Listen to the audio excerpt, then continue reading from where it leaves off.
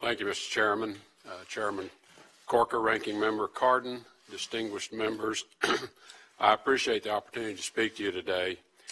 I know the Senate's desire to understand the United States legal basis for military action is grounded in your constitutional role related to foreign policy and national security matters.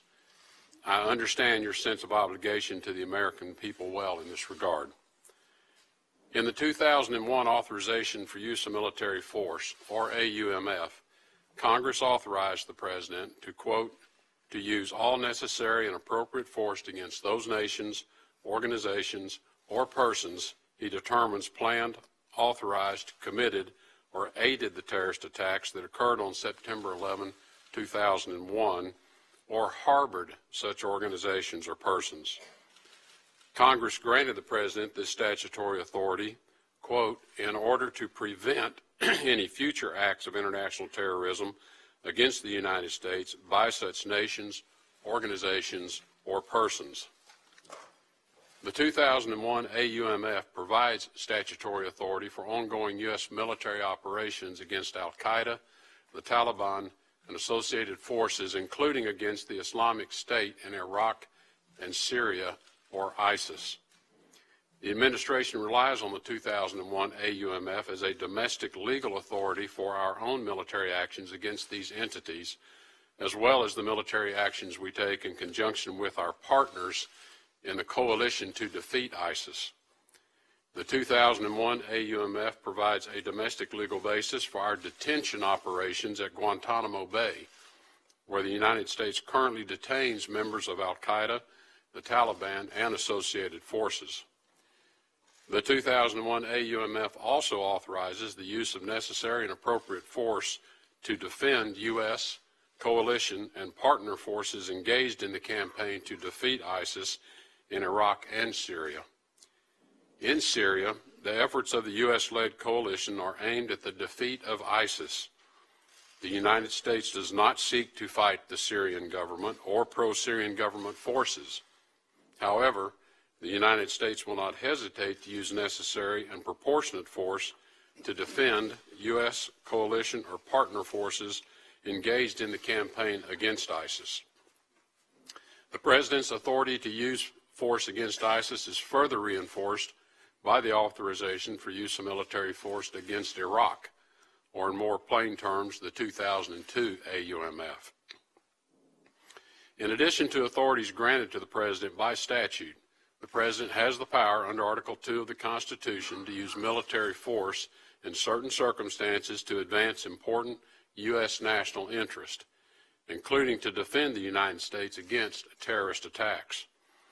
As an example, President Reagan relied on his authority as Commander in Chief in 1986 when he ordered airstrikes against terrorist facilities and military installations in Libya following a terrorist attack by Libya in West Berlin, which killed and wounded both civilians and U.S. military personnel. The United States has the legal authority to prosecute campaigns against the Taliban, Al Qaeda, and associated forces, including ISIS, and is not currently seeking any new or additional congressional authorization for the use of force. The 2001 AUMF remains a cornerstone for ongoing U.S. military operations and continues to provide legal authority relied upon to defeat this threat. However, should Congress decide to write new AUMF legislation, I submit to you several recommendations that the administration would consider necessary to a new AUMF. First, a new AUMF authorities must be in place prior to or simultaneous with the repeal of old ones. Failure to do so could cause operational paralysis and confusion in our military operations. Diplomatically speaking, it could cause our allies in the global coalition to question our commitment to defeating ISIS.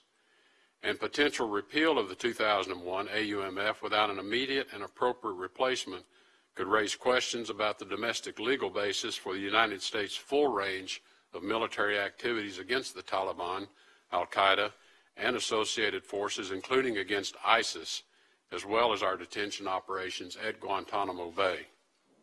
Second, any new authorization should not be time constrained.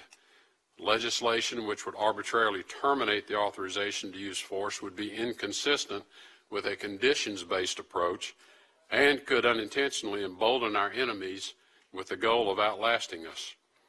Any oversight mechanism in a new AUMF also would have to allow the United States the freedom to quickly move against our enemies without being constrained by a feedback loop.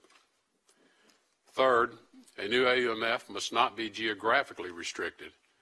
As is the case under the current AUMF, the administration would need to retain the statutory authority to use military force against an enemy that does not respect or limit itself based on geographic boundaries. As ISIS's fraudulent caliphate in Iraq and Syria has crumbled, it has tried to gain footholds in new locations. As was discussed with the Senate during a closed Defeat ISIS briefing in July, the United States has a limited military presence in the Lake Chad Basin to support partners, including France, in their counterterrorism operations in the region. This information has also been conveyed to you in multiple periodic reports submitted to Congress consistent with the War Power Resolution. The collapse of ISIS's so-called caliphate in Iraq and Syria means it will attempt to burrow into new countries and find new safe havens. Our legal authorities for heading off a transnational threat like ISIS cannot be constrained by geographic boundaries. Otherwise, ISIS may reestablish itself and gain strength in vulnerable spaces. The United States must retain the proper legal authorities to ensure that nothing restricts or delays our ability to respond effectively and rapidly to terrorist threats to the United States. Secretary Mattis and I, along with the rest of the administration, are completely aligned on this issue. We fully recognize the need for transparency with you as we respond to what will be a dynamic regional and global issue. We will continue to, reg- continue to regularly update Congress and to make sure you and the American people understand our foreign policy goals, military operations, and national security objectives. I thank the committee for supporting our efforts and look forward to your questions.